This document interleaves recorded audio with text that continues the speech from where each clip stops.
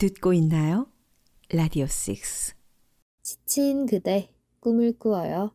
여기는 라디오 6입니다. 만나서 반갑습니다. 유아진입니다. 우리의 마음이 머무는 곳 한인 라디오 방송 FM 96.1 라디오 6입니다.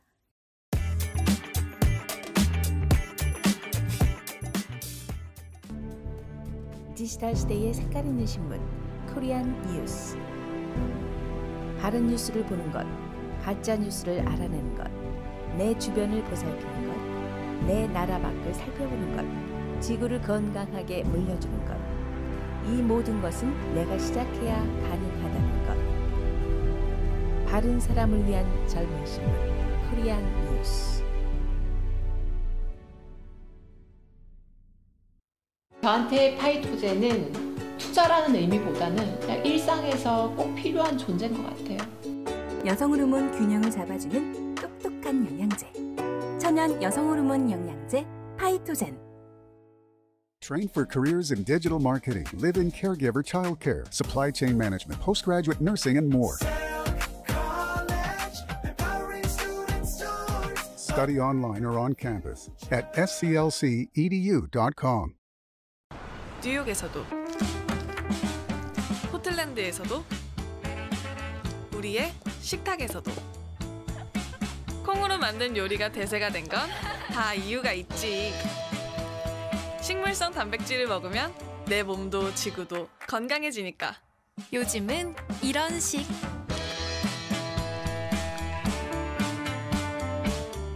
나를 위해 지구를 위해. 바른 먹거리 풀무원.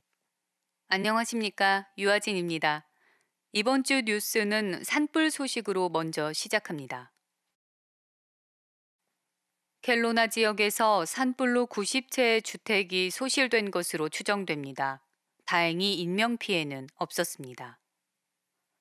지난주 맥두걸 크릭 산불이 급속도로 진행된 후 켈로나 및 웨스트 켈로나에서 사망자가 발생하지 않았다고 당국이 처음 확인함에 따라 모든 주민이 안전하게 대피한 것으로 확인됐습니다.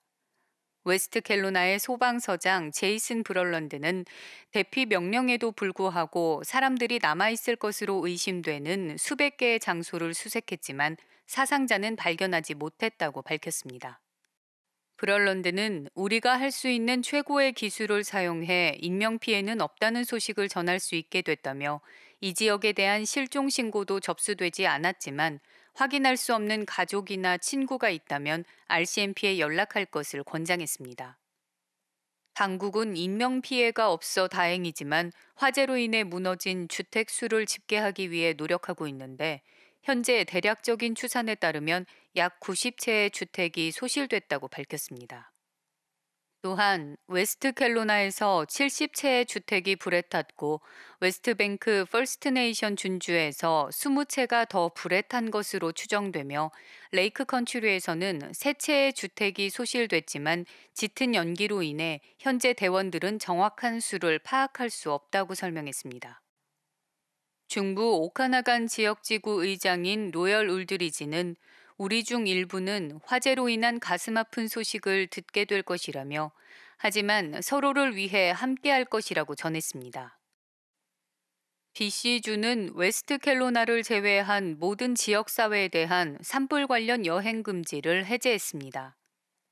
BC주 당국은 지난 23일 웨스트캘로나를 제외한 모든 지역사회에 대한 산불 관련 여행 금지령을 해제한다고 발표했습니다. 보윈마 비상관리 및 기후준비부 장관은 보도자료를 통해 오카나간 지역사회에 숙박을 제한하는 긴급 명령으로 대피자와 소방관 및 기타 응급구조대원을 위해 수천 개의 호텔 객실을 확보하는 등 그 목적을 잘 달성했다고 밝혔습니다. 아울러 최근 며칠 동안 이 지역 여행 계획을 취소한 모든 분들께 깊은 감사를 표하고 싶다고 덧붙였습니다. 그러나 그녀는 이제 켈로나, 캠룹스, 올리버, 오소유스, 펜틱턴과 버논에 대한 여행 제한은 해제해도 안전하지만 화재로 황폐해진 웨스트 켈로나는 그대로 제한이 유지된다고 전했습니다. 1번 고속도로는 체이스와 소렌토 구간이 여전히 폐쇄된 상태입니다. 마장관은 주를 여행하는 모든 사람에게 도로 상황을 모니터링하고 산불 활동이 급변할 수 있음을 경고했습니다. 오카나간에서의 비필수적 체류 금지 조치는 비시주가 산불로 인해 주 비상사태를 선포한 다음 날인 지난 8월 19일에 처음 발령됐습니다. 메트로 밴쿠버의 주택 착공이 올해 들어 현재까지 50% 증가했습니다. 캐나다 몰기지 주택공사의 새로운 데이터에 따르면 올해 초부터 7월 말까지 메트로 밴쿠버의 실제 주택 착공 건수는 작년 같은 기간에 비해 50% 증가했습니다. 올해 7월 단독주택의 착공 건수는 총 211건으로 작년 7월에 276건보다 감소했으나 아파트를 포함하는 기타 모든 주택 유형의 경우 실제 주택 착공 건수가 2,751건으로 작년 같은 달에 1,700건보다 증가했습니다. 따라서 올해 7월 메트로 밴쿠버의 총 주택 착공 건수는 작년 7월 1976건에서 증가한 2962건에 달했습니다. 일반적으로 주택 착공은 건물 공사가 시작되는 시점으로 정의됩니다. 전국적으로 올해 7월 주택 착공 건수는 두 달 연속 증가했는데 캐나다 몰기지 주택공사의 수석 이코노미스트인 밥 듀거는 성명에서 시장 정보에 따르면 6월과 7월에 시작된 다세대 주택 프로젝트는 몇 달 전에 자금을 조달했을 가능성이 높기 때문에 최근 금리 인상이 주택 착공에 미치는 영향은 아직 지켜봐야 한다고 덧붙였습니다. 올해 7월의 사전 판매율은 33%였습니다. MLB 캐나다의 수자나 곤칼베스는 성명에서 예상대로 많은 프로젝트가 여름 비수기에 앞서 6월에 출시를 서둘러 사전에 판매를 시작했는데 현재는 가을에 출시될 여러 프로젝트에 대한 낙관적인 전망이 나오고 있지만 9월 초에 예정된 캐나다 은행의 발표로 인해 구매자들이 사전 판매 구매 기회를 모색하는 동안 개발자들 사이에서 여전히 약간의 불안감이 조성되고 있다고 설명했습니다. 고장으로 운항 취소가 많았던 BC 페리가 남은 여름 동안의 운항도 어려울 것으로 보입니다. BC 페리가 코스탈 르네상스 선박의 기계적 문제로 여러 차례 운항을 취소한 지 일주일이 넘었지만 10월 중순 이전에 운항이 재개될 가능성은 낮다고 밝혔습니다. 지난 16일부터 코스탈 르네상스 선박의 엔진 문제로 인해 나나이모와 트와슨 간 항해에 큰 차질이 빚어지고 있습니다. 엔지니어링 담당 전무이사인 스티븐 존스에 따르면 페리의 구동 모터를 점검한 결과 수리가 가능하다는 결과가 나왔지만 접근이 제한되어 있고 아직 전체 수리 범위를 알지 못해 수리 기간이 약 5주 정도 소요될 것으로 예상한다고 전했습니다. 고객 관리 담당 이사인 카렌 틴달은 이들 고객 대부분은 대체 항해로 이동하지 못해 예약을 취소하고 환불을 받았다고 설명했습니다. BC 페리의 사장 겸 최고 경영자인 니콜라스 히메네즈는 다가오는 9월 롱이캔들을 맞아 여행을 계획하고 있는 여행객들에게 여행 계획을 여러 번 체크할 것을 당부했습니다. 도쿄전력이 내년 3월까지 오염수 3만 1000톤을 방류할 예정이라고 밝혔습니다. 일본 도쿄전력은 내년 3월까지 후쿠시마 제1원자력 발전소에서 바다에 방류할 오염수 양을 3만 1200톤으로 예상한다고 지난 22일 밝혔습니다. 후쿠시마 원전 운영사인 도쿄전력은 이날 일본 정부가 기자회견을 열어 이 같은 전망치를 밝히고 이는 오염수 전체 양의 3%에 해당한다고 설명했습니다. 후쿠시마 원전에서는 2011년 3월 폭발 사고가 발생한 이후 오염수가 발생하고 있으며 현재 약 134만 톤이 보관돼 있습니다. 도쿄전력이 계획대로 3만 천여 톤을 바다에 방류하면 삼중수소 5조 베크럴이 바다에 유입될 것으로 예상되는데 삼중수소는 후쿠시마 원전의 다핵종 제거 설비로 정화되지 않은 방사성 물질입니다. 일본 정부와 도쿄전력은 오염수의 삼중수소 농도를 자국 규제 기준의 40분의 1인 1리터당 1,500베크럴 미만으로 희석해 원전 앞바다에 방류할 계획입니다.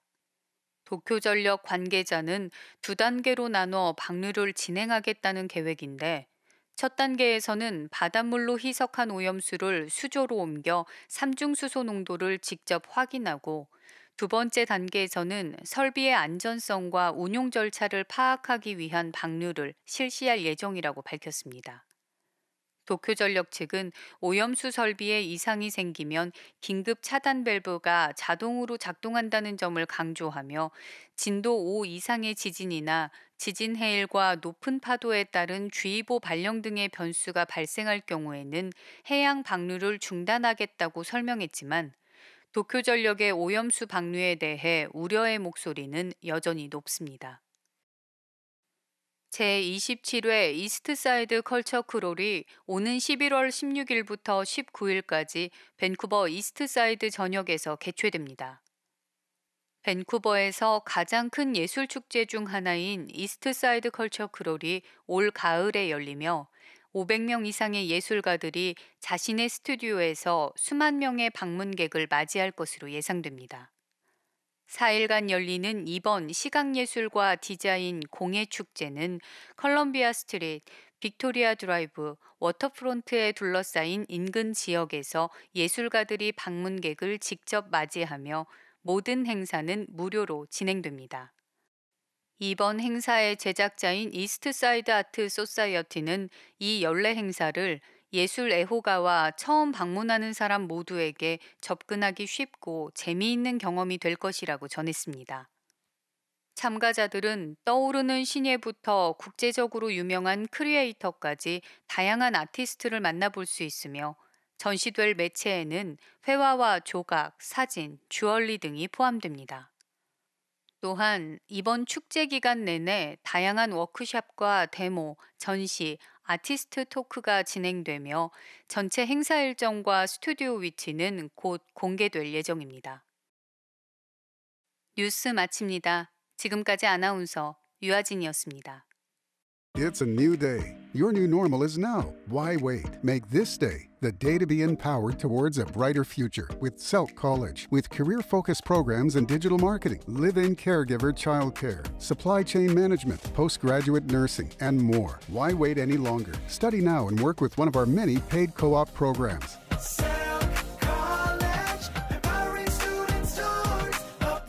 Study online or on campus at sclcedu.com. 디지털 시대의 색깔 있는 신문 코리안 뉴스. 바른 뉴스를 보는 것 가짜 뉴스를 알아내는 것내 주변을 보살피는 것내 나라 밖을 살펴보는 것 지구를 건강하게 물려주는 것 이 모든 것은 내가 시작해야 가능하다는 것. 바른 사람을 위한 젊은 신문 코리안 뉴스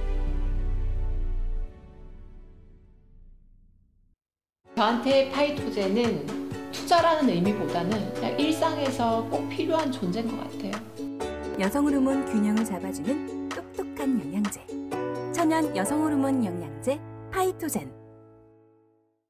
Train for careers in digital marketing, live in caregiver childcare, supply chain management, postgraduate nursing, and more.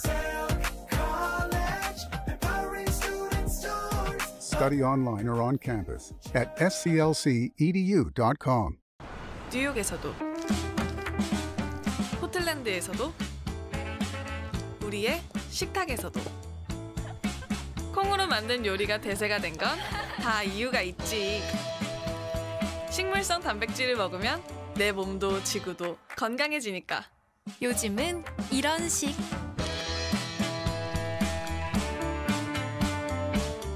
나를 위해 지구를 위해 바른 먹거리 풀무원 Train for careers in digital marketing, live in caregiver childcare, supply chain management, postgraduate nursing, and more.